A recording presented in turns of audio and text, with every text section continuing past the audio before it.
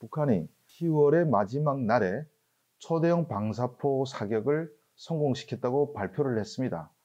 그런데 이날은 마침 문재인 대통령의 모친 장례식 발인 날이었습니다.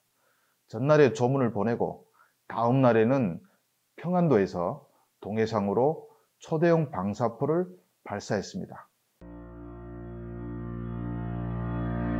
제가 오늘 북한 방사포를 가지고 어, 주제를 잡은 것은 앞으로도 북한이 계속 방사포 사격을 이어갈 것이라는 확신이 있었기 때문입니다. 지난 10년간 김정은의 집권 기간을 돌아보면 가장 빠져있던 것이 방사포라고 해도 과언이 아닙니다. 북한이 10년 동안 발전시킨 방사포는 부산은 당연히 타격이 가능하고요.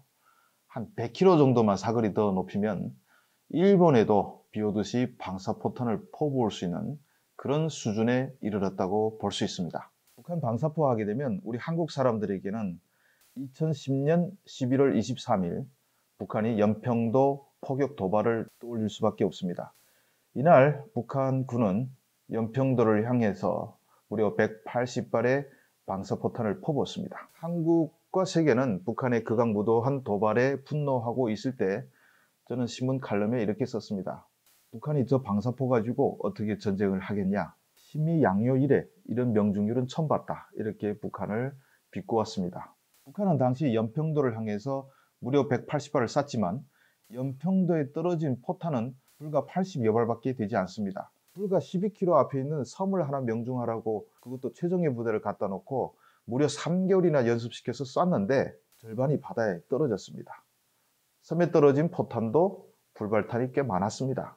그 다음부터 김정은이가 한 3년 동안 계속 포사격장만 열심히 찾아다녔습니다. 김정은의 포병 사랑은 우연한 일은 아닙니다. 김정은은 김일성 군사종합대학 포병과를 다녔습니다. 그래서 졸업 논문도 GPS를 활용한 포사격 정확도를 높이는 방법에 대해서 썼습니다. 연평도 포격을 거치면서 무한을 당한 김정은은 정말 방사포에 GPS를 달라고 명령을 내렸습니다. 문제는 이게 수지가 안 맞는 거죠. 이왕이면 GPS 단 김에 화력도 높여야 되겠다. 그러다 보니까 자연스럽게 구경이 늘어나게 됩니다.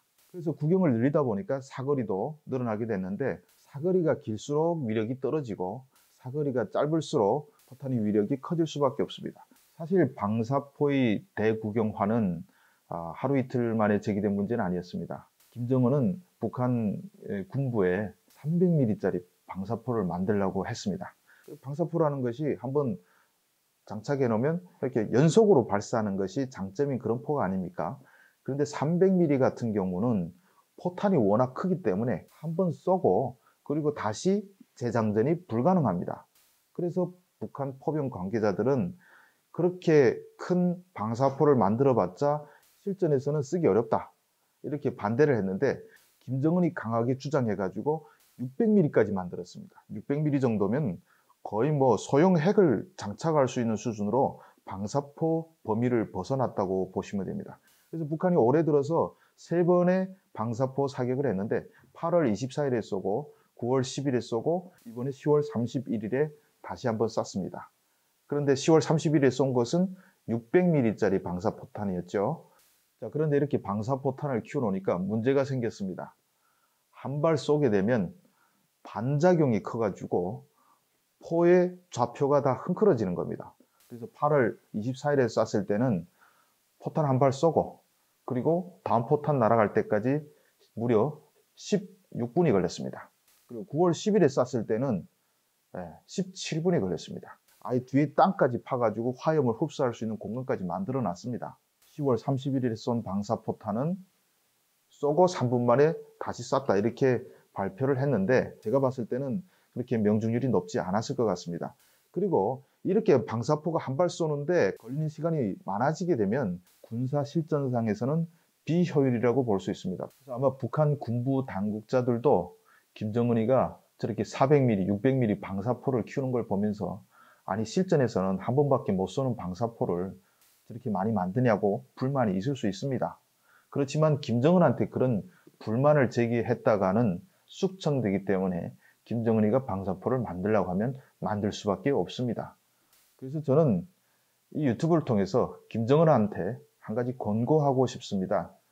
600mm짜리 방사포 만들 거면 그냥 미사일 열심히 만들어서 한꺼번에 쏘고 숨는 게 낫지 저렇게 비효율적인 방사포는 왜 집착해서 계속 만드는지 이런 비효율적인 무기체계 개발은 이제라도 그만두는 것이 북한군을 위해서라도 낫다. 저는 그런 충고를 하고 싶습니다. 그리고 또 하나 일본은 북한이 미사일 발사할 때만 호들갑 떠는데 이제부터 방사포도 열심히 지켜볼 필요가 있습니다. 저 방사포가 사거리가 100km만 늘어나면 일본의 후쿠오카가 사거리 완전히 듭니다. 이상 북한 방사포에 대한 주성아TV 논평을 마치도록 하겠습니다. 감사합니다.